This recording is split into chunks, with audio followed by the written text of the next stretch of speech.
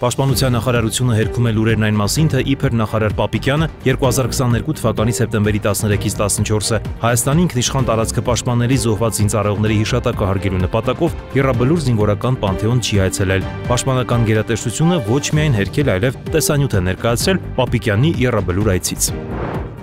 Միացյալ Նահանգների պետքարտուղարության Կովկասյան բանակցությունների հարցերով ավակ խորհրդական Լուիս Բոնոն Բաքվում հանդիպել է Ադրբեջանի արտգործնախարար Ջեյհուն Բայրամովին։ Ադրբեջանական կողմը կրկին մեղադրել է Հայաստանին Աղդամի ու Լաչինի ճանապարհները միաժամանակ բացելու պայմանավորվածությունը չկատարելու համար։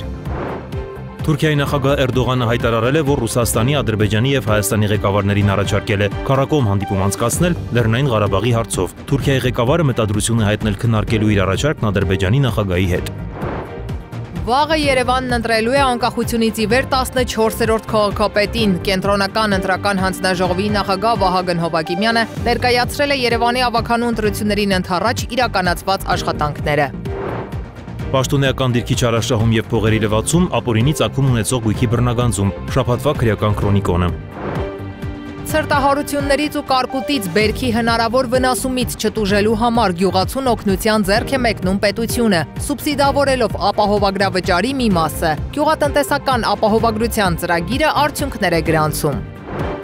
Երևանում օրեր շարունակ հանդիսատեսը վայելել է քաղաքապետարանի նախաձեռնությամբ անցկացվող օպերային երեկոները։ Մշակութային այս բացառիկ իրադարձությունը մայրաքաղաքին տվել է նոր շունչ։